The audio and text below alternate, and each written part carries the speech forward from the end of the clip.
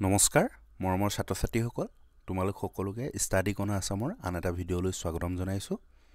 আজিৰ এই ভিডিঅ'টিত লৈ আহিছোঁ শোণিতপুৰ জিলাৰ দশম শ্ৰেণীৰ pre final assessment examination two thousand twenty tour অসমীয়া বিষয়ৰ প্ৰশ্নকাকতখন। তো যদিহে তুমি এই চেনেলটোলৈ পোনপ্ৰথমবাৰৰ বাবে আহিছা তেনেহ'লে চেনেলটো ছাবস্ক্ৰাইব কৰি ল'বা আৰু কাষতে থকা বেল আইকনটো প্ৰেছ কৰি দিবা যাতে এনেধৰণৰ ভিডিঅ'সমূহৰ ন'টিফিকেশ্যন সময়মতে পোৱা। তেন্তে আহা আজি আমি দশম শ্ৰেণীৰ M I L Assamese question পেপাৰখন চাই লওঁ আৰু এইখন শোণিতপুৰ ডিষ্ট্ৰিক্টৰ। এক নম্বৰ আছে চমু উত্তৰ দিয়া ফ্ৰম ভলগা টু গংগাৰ ৰচনাকাৰজনৰ নাম লিখা। শিৱ আৰু শক্তি পূজাৰ মূল ক'ত আৱিষ্কাৰ হৈছিল? ডেম দেউকা মানে কি? নেক্সট আছে ডাব্লিউ ডাব্লিউ ডাব্লিউ বা ৱেব কি? কুঁৱলীয়ে প্ৰথমে কালৈ ইমেইল কৰিছিল? তলৰ যিকোনো তিনিটাৰ উত্তৰ কৰিবা। বৰ্তমান প্ৰচলিত শিক্ষাৰ দুটা দোষ উল্লেখ কৰা। সম্ৰাট বাবৰৰ আমোলত ভাৰতত প্ৰৱেশ কৰা চিত্ৰকলাৰ নতুন ধাৰাটি কেনে আছিল? লেখকৰ মতে ছাত্ৰ জীৱনৰ প্ৰকৃত উদ্দেশ্য কি কি? অজন্তাৰ ছবিবোৰত কি কি ভাৱবস্তু প্ৰকাশ পাইছে? নেক্সট তিনি নম্বৰ প্ৰশ্নৰ কটো আছে ভাইৰাছে কম্পিউটাৰ এটাৰ কেনেদৰে বিজুতি ঘটাব পাৰে? ইণ্টাৰনেটৰ পৰা কুঁৱলীয়ে কি কি নতুন অভিজ্ঞতা আহৰণ কৰিলে? ইণ্টাৰনেটৰ মিঠা সুবিধা আৰু তিতা অসুবিধাও আছে। এই মিঠা তিতা অসুবিধা কি কি? নেক্সট আছে যিকোনো এটাৰ উত্তৰ কৰিবা। ভাৰতীয় সংস্কৃতি এক সমন্বয় বস্তু। এই কথাষাৰ কিমান যুক্তিপূৰ্ণ পাঠৰ আধাৰত বিচাৰ কৰা। আমাৰ দেশৰ অধিকাংশ লোক আজিও কেনে অৱস্থাত আছে ছাত্ৰ জীৱন আৰু সমাজ সেৱা পাঠৰ আধাৰত বুজাই লিখা। যিকোনো এটা উত্তৰ লিখিবা। ইণ্টাৰনেটৰ অত্যাধিক ব্যৱহাৰে ছাত্ৰ ছাত্ৰীৰ জীৱনত কেনেদৰে প্ৰভাৱ পেলাব পাৰে পাঠৰ আধাৰত বুজাই লিখা। নেক্সট আছে ইণ্টাৰনেটৰ তিতা মিঠা গল্পটোৰ নামকৰণৰ সাৰ্থকতা বিচাৰ কৰা।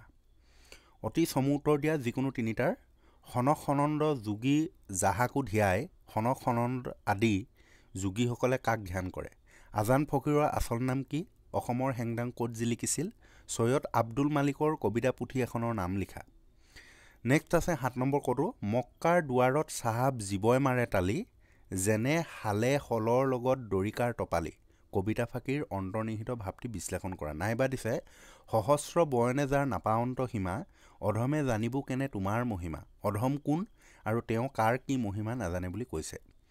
আঠ নম্বৰ আছে অসমৰ পুৰুষ নাৰীয়ে কেনেদৰে ৰণলৈ ওলাই আহিছিল চমুকৈ লিখা। ন নম্বৰ আছে যিকোনো এচোৱাৰ ব্যাখ্যা কৰা। পানী মৰে পিয়াহত অগ্নি মৰে জাৰত ক্ষুদা ৰচুল লুকাই আছে মুমিনৰ আঁৰত।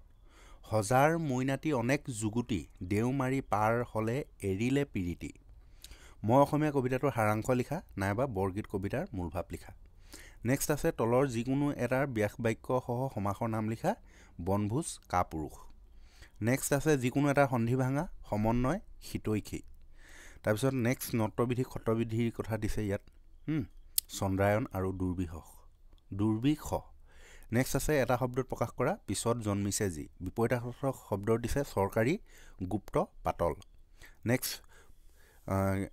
যিকোনো এটা শব্দত কি প্ৰত্যয় লগ লাগিছে দেখুৱাবলৈ কৈছে জীৱন গভাইট সৰল বাক্য আৰু মিশ্ৰ বাক্য কাক বোলে উদাহৰণসহ লিখা। অৰ্থ প্ৰকাশ হোৱাকৈ বাক্য ৰচনা কৰা জয়দেউ কাকুতি অথাই সাগৰ।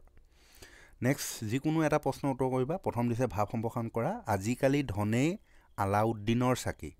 নেক্সট দিছে তুমি তোমাৰ বিদ্যালয়ৰ ছাত্ৰ একতা সভাৰ সম্পাদক সম্পাদিকা হিচাপে খেল ধেমালিৰ অধিক সুবিধা প্ৰদান কৰিবলৈ অনুৰোধ জনাই বিদ্যালয়ৰ প্ৰধান শিক্ষক অধ্যক্ষলৈ এখন আবেদন লিখা। নেক্সট দিছে তোমাৰ অঞ্চলত হৈ থকা বিজুলীৰ নাটনিৰ প্ৰতি দৃষ্টি আকৰ্ষণ কৰি স্থানীয় বাতৰি কাকতৰ সম্পাদকলৈ এখন প্ৰতিবেদন লিখা।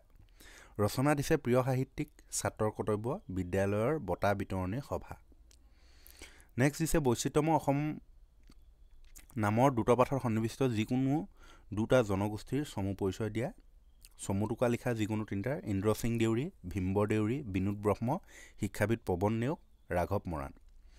নেক্সট গ্ৰুপ বি খ বিভাগ ষোল্ল নম্বৰ ক'তো আছে নাগাৰ্জুন কোন? নেক্সট আছে নালন্দা বিশ্ববিদ নালন্দা বিশ্ববিদ্যালয়ত অধ্যয়ন কৰা কোন চীনা ছাত্ৰ কামৰূপলৈ আহিছিল? তক্ষশিলা বিশ্ববিদ্যালয়ৰ দুজন প্ৰখ্যাত ছাত্ৰৰ নাম লিখা চম্বুটোকা লিখা নালন্দা বিশ্ববিদ্যালয়। উদান্তপুৰী বিশ্ববিদ্যালয়ৰ কি সম্পদ কোনে কেতিয়া ধ্বংস কৰিলে? নেক্সট দিছে কি ৰূপ ধৰি কৃষ্ণই বলিক চল চলনা কৰিছিল? কপিল মুনিৰ মাতৃৰ নাম কি আছিল? তথাপি তোহাক দেখনতে দৰত উৰি যায় মোৰ জীও এইষাৰ কাৰোক্তি কাক দেখি তেওঁ জীও উৰি যায়? কাঠবাজি বুলি জগতে সাশয় দেখিলে হোমৰে হৰি। কাঠবাজি কোন ইয়াৰ অৰ্থ কি?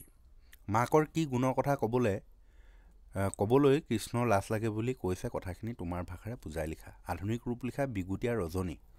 তাৰপিছত নেক্সট দিছে তলৰ বাক্য দুটা শুদ্ধকৈ লিখা তুমি কালি যেনে তেনে যাবা এতিয়া বজাৰ যাম। বিছ নম্বৰটো আছে যিকোনো দুটাৰ সমাৰ্থক শব্দ লিখা জুই নিপুণ কামিনী পদুম। নেক্সট আছে অনুসৰ্গ কাক বোলে? এটা উদাহৰণ দিয়া। তাৰপিছত নেক্সট আছে প্ৰ উপসৰ্গ যোগ কৰি এটা শব্দ লিখা। গতিকে ইমানেই আছিলে। যদিহে ভিডিঅ'টো ভাল লাগিলে লাইক কৰি দিবা আৰু বন্ধুবৰ্গলৈ শ্বেয়াৰ কৰি দিবলৈ নাপাহৰিবা। ধন্যবাদ।